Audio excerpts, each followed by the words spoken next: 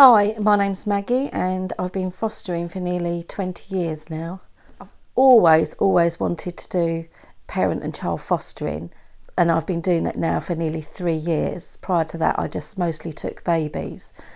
Um, it was kind of on a whim that I ended up doing it. Um, my social worker was on the phone to me and another social worker shouted across, I don't suppose Maggie fancies taking a parent and child. And um, yeah, I absolutely jumped at the chance and I've been doing it ever since. Our role is to help support the parents that are coming into our homes and to teach them how to look after their children safely and to give them the life skills they need for living independently, whether it's be teaching them how to budget, how to housekeeping, organising their appointments, and, and just organising their life so they can be the best parent they, they can be. A lot of them haven't been parented very well themselves, so it's about us showing them how to do it.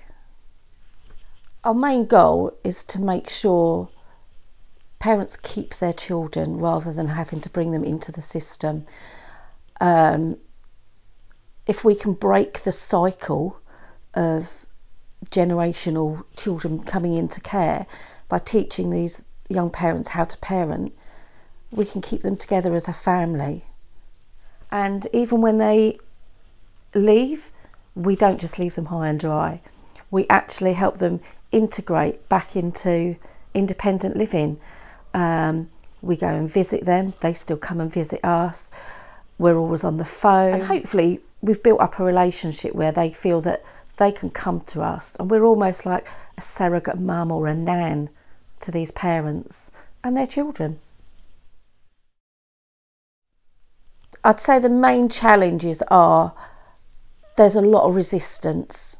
And you know we have to spend a lot of time just reassuring these parents we're not looking to take their child away from them you know it's it's really hard to get them to trust you.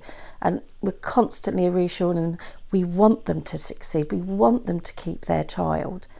It, it's not about telling them what to do. It's about suggesting oh do you, do you think they might need a feed now? Or oh what what time did you change their nappy? It's it is amazing when you see a parent who's actually accepting your help and taking on board what you're trying to do for them. And when when they achieve those goals and you can see them doing things for their child and you're having to prompt them less and less because they're getting used to doing it and it's becoming natural to them and they start bonding with their child and you know their child is act- actively looking for them it, it is wonderful when it, it does succeed. It really is.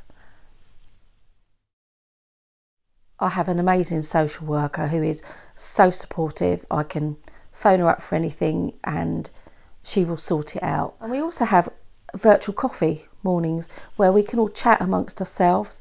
And when you have the placement, if something's happening that you're not 100% sure about, or you just need a bit of extra support, you can put on whatever question you want. There's no judgment, nothing. And all the other parent and child foster carers will come back with tips and ideas to help you. So you're never on your own. There is always somebody there supporting you.